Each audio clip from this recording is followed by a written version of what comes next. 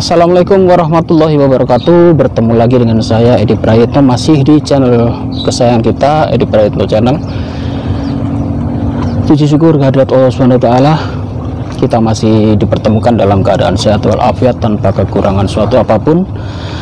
Tak lupa salam dan salawat kita aturkan ke junjungan Nabi Muhammad SAW Berkat beliau kita masih diberikan jalan kebenaran.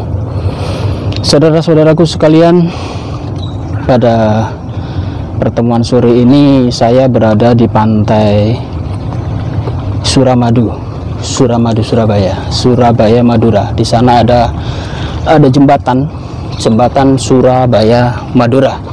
Jadi untuk rekan-rekan yang ingin ya melepas penat kota Surabaya bisa jalan-jalan ke sini. Di belakang kita ada hamparan laut yang sangat luas.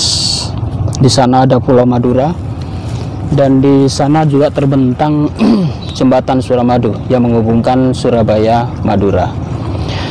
Saudara-saudaraku sekalian, dunia YouTube saat ini lagi rame, terutama para murtadin-murtadin yang keluar dari Islam.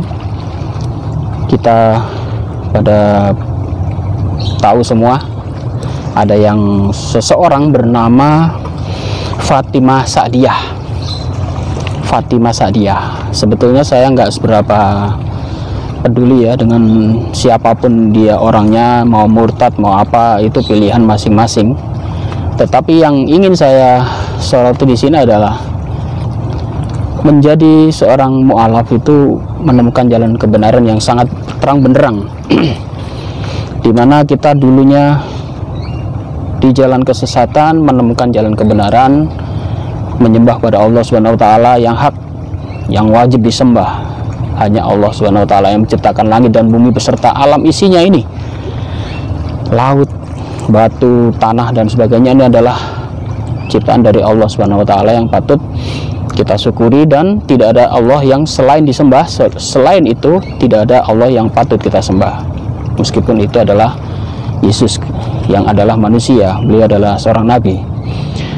Dan saya katakan di judul ini bahwa menjadi murtadin itu adalah keluar dari cahaya kebenaran terprosok masuk ke dalam hutan belantara yang lebat.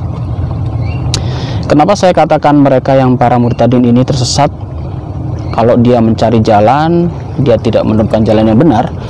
Tetapi sebaliknya dia akhirnya malah menemukan jalan yang sesat bahkan saya katakan seperti mereka memasuki sebuah hutan belantara. Kenapa? Karena di Islam jelas siapa yang kita sembah Allah taala. Tidak ada sesembahan yang lain selain Allah. Para nabi-nabi mulai zaman Nabi Adam sampai Nabi Muhammad semua para nabi juga menganjurkan kita menyembah pada Allah taala. Bahkan Yesus Kristus sendiri menganjurkan pada kita pada umatnya, pada murid-muridnya kala itu bahwa tidak ada sesuatu sembahan yang wajib disembah selain Allah. Yesus mengatakan, "Hai orang Israel, sembahlah Tuhan itu adalah Esa." Kenapa saya katakan para murtadin ini dia seperti memasuki hutan, tersesat di dalamnya karena apa? Begitu dia masuk ke dalam ajaran atau murtad ke Islam, murtad dari Islam masuk ke dalam agama Kristen. Ya, mereka akan menemukan banyak sekali perbedaan-perbedaan denom di sana. Ada banyak sekali teologi-teologi Kristen yang sangat sangat membingungkan dia. Pertama, ada kelompok yang menyatakan dirinya adalah Unitarian. Ada yang kelompok menyatakan dirinya adalah Trinitas. Ada kelompok menyatakan dirinya adalah Katolik, Ortodok dan sebagainya dan masing-masing kelompok ini itu teologinya beda-beda. Perbedaan ini adalah perbedaan yang sangat-sangat eh, sangat-sangat pokok ya. Karena perbedaannya bukan hanya perbedaan masalah-masalah hal-hal kecil tetapi perbedaan ini adalah perbedaan siapa yang akan disembah. Kaum Unitarian sampai hari ini dia menolak ketuhanan Yesus. Sedangkan kaum Trinitas dia menyembah ada tiga pribadi tetapi satu satu adalah tiga. Dan itu pun terpecah-pecah lagi. Aliran protestan hari ini sampai hari ini terbagi dari bermacam-macam denom. Di seluruh dunia ada lebih 140 ribu denom.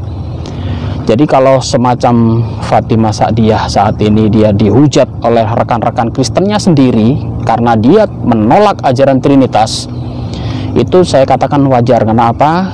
Karena kalau seseorang berasal dari Islam sudah meyakini bahwa Tuhan itu satu, kemudian masuk ke dalam ajaran Kristen yang harus diperkenalkan dengan Trinitas, dia pasti akan menolak. Itulah sebabnya seperti Saifuddin Ibrahim dia diasuh oleh pendeta Tewu. Kita tahu sekalian eh, kita sekalian tahu bahwa pendeta Tewu ini adalah pendeta yang menolak Trinitas. Bahkan dia berseberangan dengan seniornya pendeta Gilbert Lumendong. Bahkan dia dipecat dari denomnya. Jadi pendeta Tewu ini karena dia menolak ajaran Trinitas, dia sering mengatakan bahwa di dalam ceramah-ceramahnya dia menganut ajaran Unitarian atau Oneness. Akhirnya pendeta TU ini akhirnya dipecat dari GPI gereja mereka karena berseberangan dengan paham mayoritas yang ada di denomnya seperti Saifuddin Ibrahim juga dibina oleh pendeta TU ini. Pendeta Saifuddin Ibrahim juga menolak ajaran Trinitas karena dia dari dasarnya dari dasarnya dia Islam pastilah tidak akan mempercaya Tuhan itu dibagi-bagi menjadi tiga dan sebagainya. Demikian juga dengan murtadin yang bernama Fatimah Sa'diyah. Dia lebih lebih pas di hatinya bahwa Tuhan itu tidak akan bisa dibagi-bagi. Itulah sebabnya dia memilih kelompok dari oneness atau unitarian atau dia menolak ketuhanan Yesus yang secara uh, Yesus kemudian ada bagian-bagian yang lain ada Yesus ada Allah Bapa ada Roh.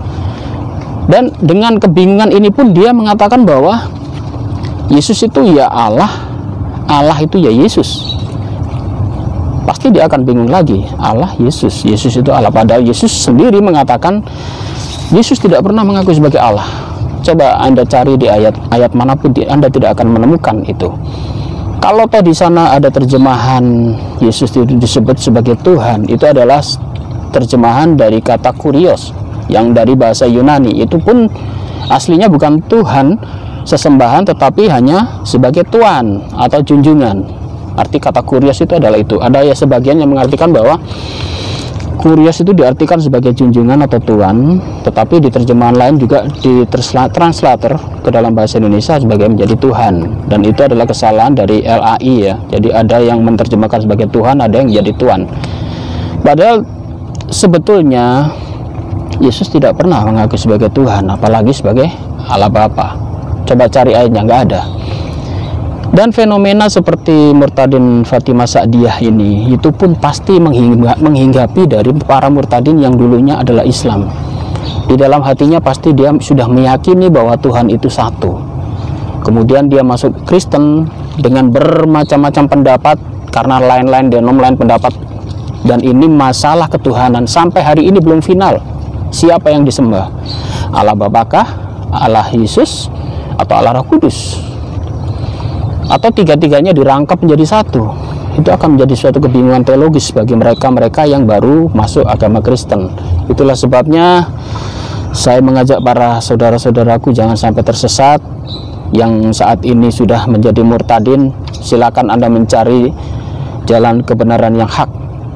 Kalau dulu anda sudah masuk Islam kemudian sekarang menjadi murtad itu pilihan anda. Tetapi renungkanlah bahwa di dalam hati Anda pasti Anda tidak akan di dalam dasar hati Anda pasti akan ada penolakan bahwa Tuhan itu dibagi-bagi menjadi tiga bagian. Allah Bapa, Allah Roh, Allah Anak dan Roh Kudus.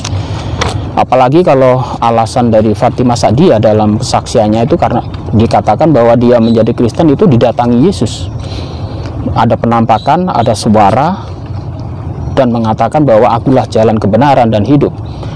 Tidak ada seorang pun yang sampai kepada Bapa tanpa melalui aku yang menjadi pertanyaan adalah saat dia datang mendatangi Fatimah Sa'diyah itu dalam wujud apa?